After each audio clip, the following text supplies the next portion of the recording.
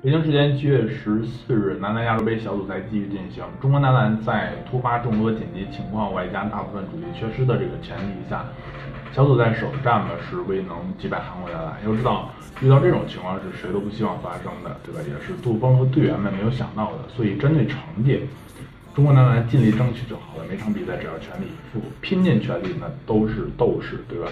不过话说回来啊，如果抛开一些场外因素，再来分析中国男篮比赛时的表现吧。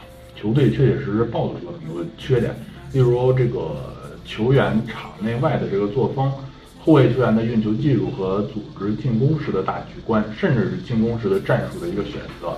那么，秉承帮助中国男篮改掉以上问题的这个原则，篮协不妨尝试一下，让以下几位成员全部进入到男篮的教练组。用一句话来概括，就是王治郅管纪律，林书豪训技术，郭士强抓进攻。首先让王治郅来主管中国男篮的纪律，一方面是因为他在中国篮坛很有地位，对吧？有地位的同时，就代表他有更多的话语权，可以对球员们起到约束的作用。那另一方面则与王治郅的个人作风有关。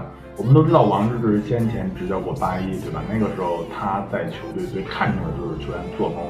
当初郭浩文就因为自己场外的一些争议举动啊，是不幸的遭到了八一男篮的选场仓。所以中国男篮在王治郅的监督下，一定会改良这些不好的风气。其次，林书豪完全可以进入男篮教练组来负责。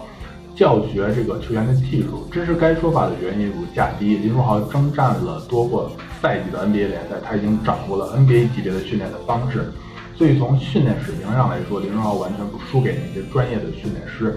第二，林书豪是华裔球员，他更能充分的了解中国球员的体质以及身体的各项机能，从而制定出最恰当的训练方式、训练计划。